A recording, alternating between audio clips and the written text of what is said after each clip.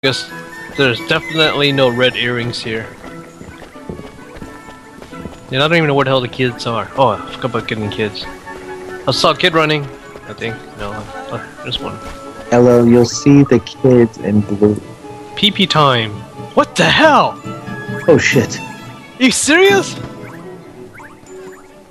What the fuck? Little girls like you shouldn't be saying that. oh my god. Well, how about that, everybody?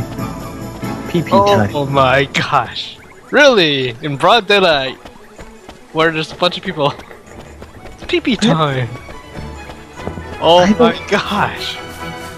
I am shocked. I'll be honest, I'm I'm pretty fucking shocked too. This is a kid's game. Well, I mean, it's worded like a kid would say.